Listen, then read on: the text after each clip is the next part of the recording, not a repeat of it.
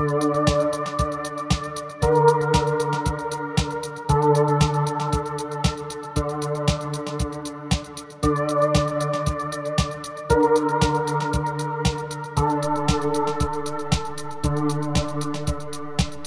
Statue Freedom is a Statue of Liberty.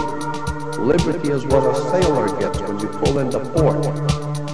Because the admiral gives the captain on the board of the ship ownership your body. You ask permission to leave. And if he lets you, which he's most likely not going to, but if he allows you to leave, you have liberty. You don't have freedom. And as long as you call yourself a United States citizen, you are an employee of a foreign corporation incorporated under international law, under maritime law, and consequently you are a franchisee of a foreign corporation. They own you.